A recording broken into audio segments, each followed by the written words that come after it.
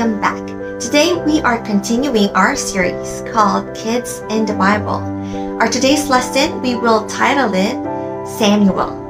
Now we are going to look into a story of this young boy who heard God speak. And even at his young age, he learned to listen and obey God. He eventually became a spokesperson or someone whom God used to speak in behalf for his people.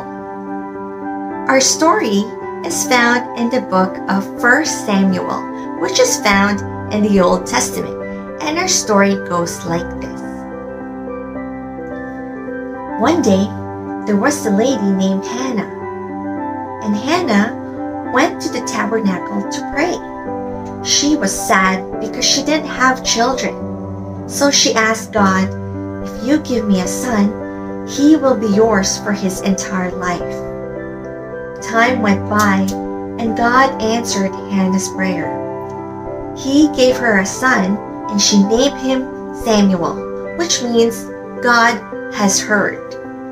When Samuel grew up, and he was no longer a baby, the time came for Hannah to fulfill her promise. So she took him to the house of the Lord for Samuel to serve God alongside Eli the priest. Even though Samuel was just a child, he served the Lord all the time, and he grew in the presence of God, serving him and helping Eli. Now, one night, Samuel was asleep. He heard someone calling his name Samuel. Samuel got up and ran where Eli was and said, I am here, you called me. But Eli said, I did not call you, go back to bed. But he heard the same voice again, Samuel. So he stood up and went back to Eli to see what was needed. Eli replied, I did not call you, lie down again. A third time, Samuel heard the voice. Samuel. So once again, he went to see Eli, and he said, Here I am, he called me. Then Eli understood that it was God who was calling Samuel. So he told him, Go lie down, and if he calls you again, say, Speak, Lord, for your servant is listening. So Samuel went back to his bed. And he heard the voice again Samuel, Samuel. This time Samuel replied, Speak, Lord, for your servant is listening. And God gave Samuel an important message for Eli and for the people of God. From that day forward, Samuel started receiving special messages from God, and he delivered them to many people. All this because he learned to hear God's voice. So here are the things we can learn about this story. Number one, learn to listen to God.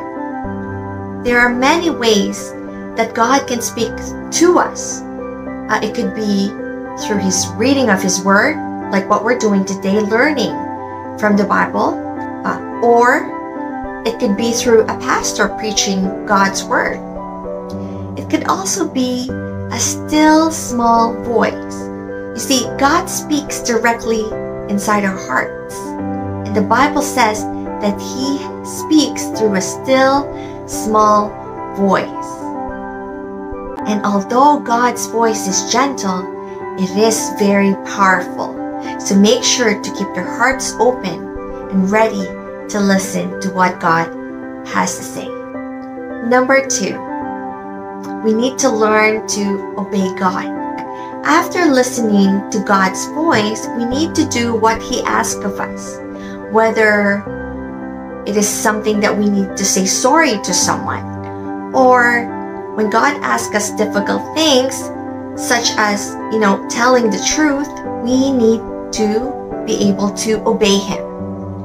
Number three, learn to be devoted to God.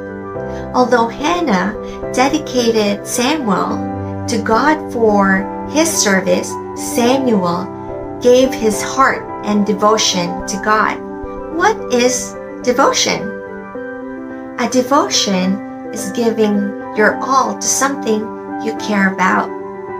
You see, Samuel let God's love fill his life. Sometimes life can get really busy, especially if we are wanting to just do what we want to do instead what God wants us to do. But when we learn to give our time to God and to study His Word, like what we're doing today, and to, to learn what pleases God, this actually makes God really happy. And this is what you call devotion. And so Samuel grew up to be the priest and the spokesperson uh, that God uses for his people. He is able to deliver God's messages to each people or individual because he listened to God. Sometimes God calls us when we least expect it. And just like Samuel, we can say, Yes, Lord, here I am. I am listening. Make sure to check our ifcchurch.ca website for the activities related to this lesson. Thank you for joining me today, and always remember you are special and God loves you very much. Have a blessed day.